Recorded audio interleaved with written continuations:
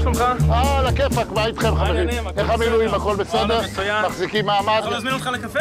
מה, איזה שאלה? מה זה? אבל רגע, רגע, רגע, עם קפה, נחמה שלך לכם עוגה. יפה מאוד, הנה. שלום, מה שלומכם? הנה, תבצעו אותה. אני מייקי דום, אה, עליתי לארץ אה, מקנדה לפני הצבא, עכשיו אני מפקד טנק פלוגה ב'.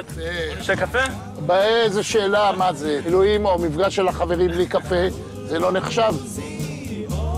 אה, איזה קפה.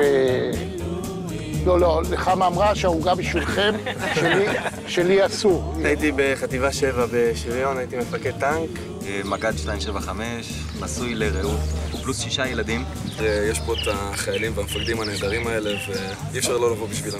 אתם רואים, כשבאים למילואים, אין מי שמפריע בבית, מדברים, מספרים את הסיפורים האמיתיים. הנשיא, חשבנו שתהיה קמ"ן בגדוד.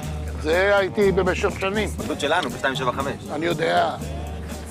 זה עוד עולה עליי. או, גם הדיסקית היא נכונה, 414222. באמת, באתי לברך את כל החיילים שמבינים את הצורך ומבינים גם את הכיף של באנו למילואים, באנו למילואים כדי לעשות חיים.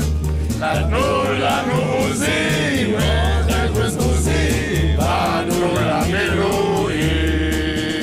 יאללה, חבר'ה, יש משימה, אני צריך מישהו שיעלה לשמירה.